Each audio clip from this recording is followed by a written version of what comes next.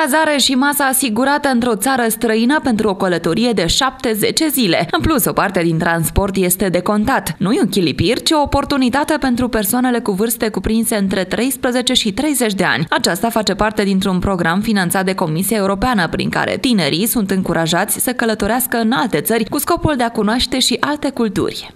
Prin astfel de proiecte, tinerii, în afară de faptul că na, eu știu, călătoresc într-o țară străină și poate pentru unii dintre ei poate pentru prima dată.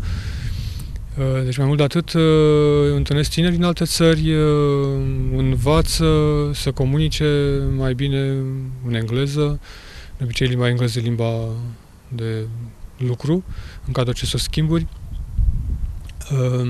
Dar mai mult, dar învață și să comunice eficient, învață să lucreze în echipă, în primul rând, să fie mai toleranți, și, să, și cu această ocazie pot observa că sunt tineri și în alte țări cu asemenea aceleași preocupări ca și ei. Tematica proiectelor europene este variată de la artă și cultură până la antreprenoriat și ecologie. Am avut niște activități, muncă în echipă, workshop-uri și energy ice breaking, deci tot ce ține de educație non-formală.